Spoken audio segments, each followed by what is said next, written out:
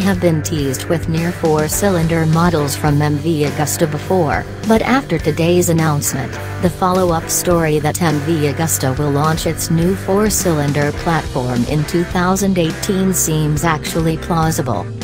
Something we were expecting at this year's EICMA show, MV Agusta CEO Giovanni Castiglioni has already shared that we can expect to see a 1,200cc four-cylinder Brutale in the near future.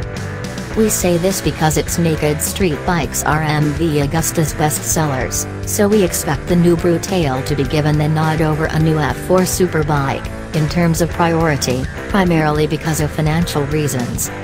This will be bad news for racing fans, as there had been hopes for a new superbike platform, as the MV Agusta Reparto Corse World Superbike team has reached the limits of development for the current F4 package, which was a big reason Leon Camier left MV Agusta for Honda. It looks like for World SBK the MV Agusta squad will be on the current F4 through the 2018 season, and likely on it well into 2019. Meanwhile for street bike riders, we can expect to see a new MV Agusta Brutale 1200 sometime later this year.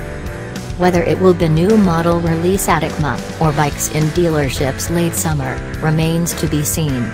We can also expect the 1200cc four-cylinder platform to be the basis of future street models, with a bigger version of the Turismo Veloce being our top pick.